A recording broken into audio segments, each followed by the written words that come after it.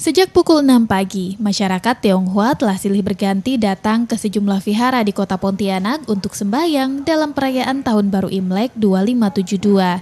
Pelaksanaan sembahyang Tahun Baru Imlek kali ini dilakukan dengan protokol kesehatan ketat. Hal ini dilakukan untuk mengantisipasi penularan virus COVID-19 di tempat ibadah.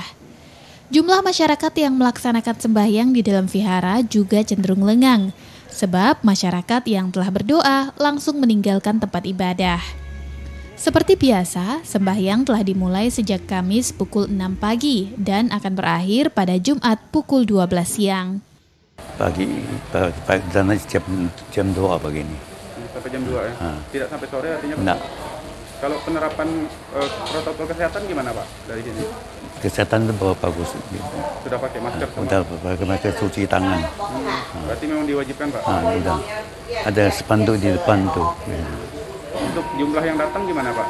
Dibatasi tidak? Tidak. tidak. Itu jarang. Ah, yang udah udah sembahyang pergi. Udah sembahyang pergi bergantian gitu Pak? Bergantian. Setelah pukul 12 siang, pengurus vihara akan menunggu hingga umat selesai. Vihara akan kembali dibuka pada Senin mendatang dengan pelaksanaan sembahyang normal.